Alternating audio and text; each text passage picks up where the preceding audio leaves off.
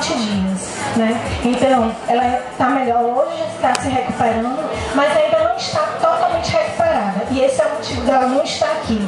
Mas ela está muito feliz. Todos nós da família estamos muito honrados, porque esse prêmio, é uma gratificação honraria muito grande. de Antônia Moura Pinto, minha mãe educadora. como professora e diretora aqui na cidade de Caxias, em várias escolas, que muita gente conhece, inclusive, Duque de Caxias, Azevedo, Coneguadécio. Atuou também na rede privada, Colégio Caxiense, Esta é a filha da- Azevedo. da dona então, Antônia Moura Pinto, bonita de superação, que receber a medalha de, de garra, de coragem. Birajara Quem conheceu Dona Santidade aqui em Caxias, é,